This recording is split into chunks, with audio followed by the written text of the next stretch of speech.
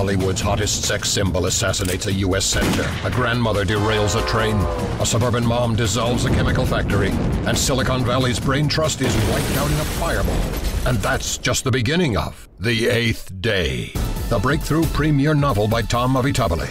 America is under attack and doesn't know it. A rigged election, an anti technology cult, and copycat terrorists all pile on to challenge presidential science advisor William Hiccock. His and America's best defense is to outthink the bad guys and avoid the FBI's crosshairs. Non-stop action and fast-paced events catapult you to the ending you'll have to read to believe. And the scary part? A former top government official says of the eighth day, frighteningly realistic. Homeland Security had better read this one, and so should you. The Eighth Day, the first in the Wild Bill Hiccock trilogy from author Tom Avitabile. The Eighth Day. It's only fiction till it happens.